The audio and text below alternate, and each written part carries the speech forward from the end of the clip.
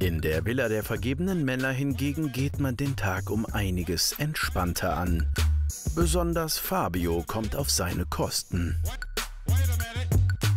Hela!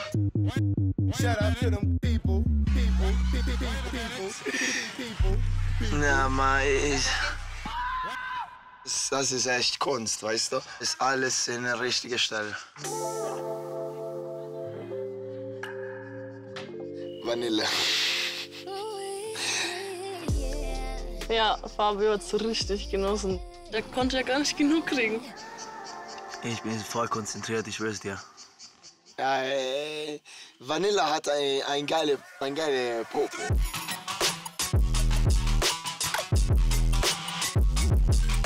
Oh.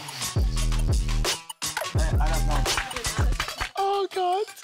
Ich muss ehrlich sein, also nicht jeder Po klatscht gleich, weißt du? Also, ich habe meine eigene Theorie. Hey, warte, komm, komm hier. Die nächste Runde dafür, weil Red ich, red ich. Auf jeden Fall musst du erstmal anvisieren. Scannen, ausdrucken, ziehen. Das ist sehr wichtig.